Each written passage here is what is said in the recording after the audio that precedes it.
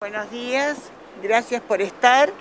La verdad que bueno, es un día muy feliz hoy, ya que de esta manera hoy eh, cerramos eh, la campaña de los concentradores de oxígeno. Voy a aclarar bien. El otro día entregamos, eh, mejor dicho, donaron en la estación de servicio El Puma, donó un concentrador de oxígeno. Pero era cuando vino este chico de deporte de Dundee que no pudieron estar los medios. Así que hoy estamos muy, muy contentos porque la gente del Rotary Club va a hacer entrega de dos concentradores de oxígeno para el hospital. Ellos en una, bueno, van a explicar ellos en qué forma lo van a hacer. Así que bueno, de parte mía nada más. ¿Qué tal? Buenos días. Sí, tengo que aclarar que ya no soy el presidente del Rotary, estoy saliendo ahora, justo la, la presidenta o la presidenta actual se está recuperando de una cirugía, así que por eso no puedo estar presente, pero bueno, eh, está, está por supuesto acompañándonos. Eh, no, básicamente nosotros, eh, en base a los requisitos o la necesidad que surgieron en nuestro hospital local, bueno, nos pusimos en campaña para para poder ayudar al hospital. Eh, justo nos encontramos en su momento como que no, había existencia en el país, tuvimos que esperar unos días para, que haya disponibilidad de concentradores, pero bueno, acá están. La realidad es que estamos, eh, compramos dos concentradores de oxígeno, eh, bueno, obviamente con las características del proveedor que nos surgió el hospital local.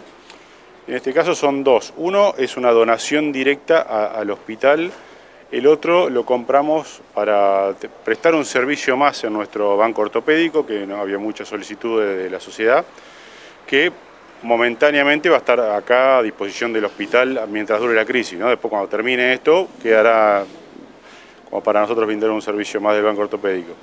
Y también, bueno, ya que estamos, eh, aprovechamos para seguir con lo que veníamos ya, pues ya nosotros le habíamos prestado al, hospital eh, un 14 camas para, para una ala nueva de, atención al COVID y bueno, vamos a aprovechar esto para hacer una extensión por, por el mínimo seis meses más o lo que sea necesario de, ese préstamo para poder que puedan seguir brindando el servicio de, calidad que están brindando desde que empezó esta pandemia. Con esto sigue la necesidad de tener más eh, equipos, doctora?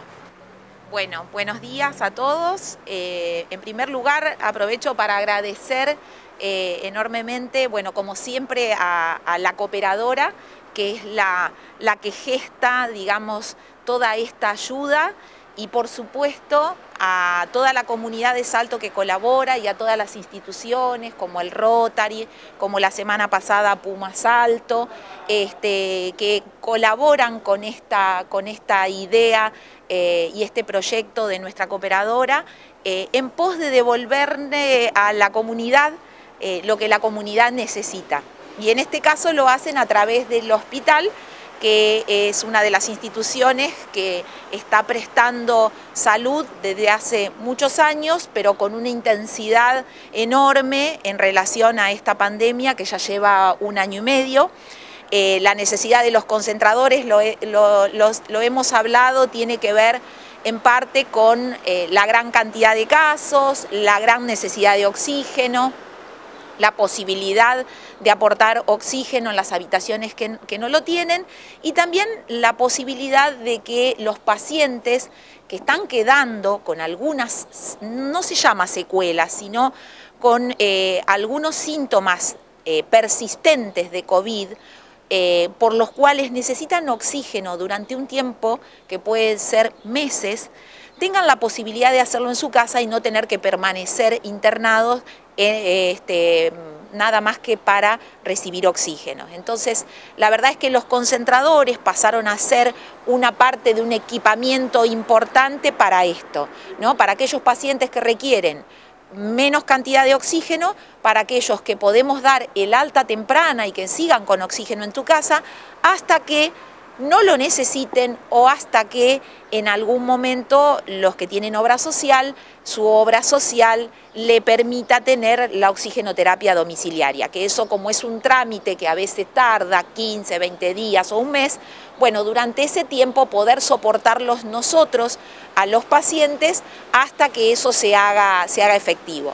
Así que este año, eh, digamos, se han incorporado en total nueve concentradores entre los aportados por la cooperadora, lo que compró el municipio y lo que aportó Región Sanitaria Cuarta, este, como intermediario del Ministerio de Salud, se han incorporado nueve, concentradores a uno y uno más que tenía el hospital.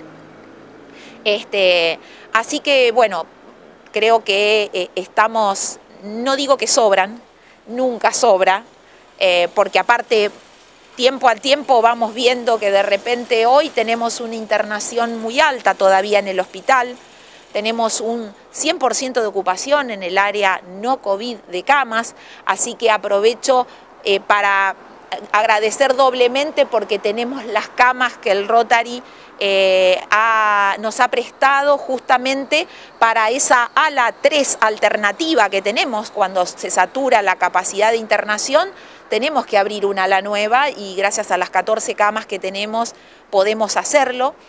Eh, así que eh, no digo que es poco, es mucho lo que no, nos han dado, pero no sobra. Así que, bueno, agradecer enormemente el afecto además que uno pone en todo esto, ¿no? Porque esto no es solo, no es solo trabajo, sino afecto. Y eso es muy importante, tener afecto por el otro, por el prójimo, por la comunidad. Me parece que eso es eh, lo, que tenemos que, lo que tenemos que festejar también. No, no, no, de última, eh, resumir en una sola palabra todo lo hermoso que dijo mm, y lo justo que dijo mm, Mirna, este, que es solidaridad, porque yo creo que acá está la solidaridad de todo un pueblo, ¿no es cierto?, que de una u otra manera se acercó, porque a veces con muy poquito, a veces a uno le parece, ay, no, ¿cómo voy a ir con 10 pesos?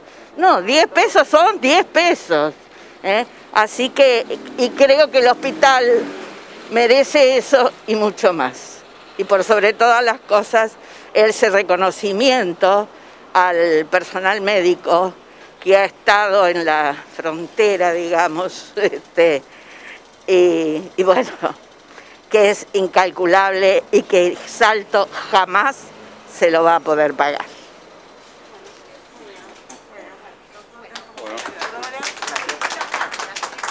Nosotros como cooperadora queremos agradecer a toda la comunidad, a toda la comunidad que nos han apoyado enormemente y nos siguen apoyando. Ahora nuestro otro objetivo es comprar el, ecógrafo, que ya lo dije en otro momento, pero bueno, no vamos a perder la esperanza, la gente sigue colaborando, los invitamos a que sigan, porque realmente nosotros estamos sumamente agradecidas a los pacientes, a la gente que no viene al hospital, a toda la comunidad, a la gente del hospital, a los médicos, a las enfermeras, al personal administrativo, muchísimas gracias. Y en este caso a Rotary Crew, muchísimas gracias. ¿eh?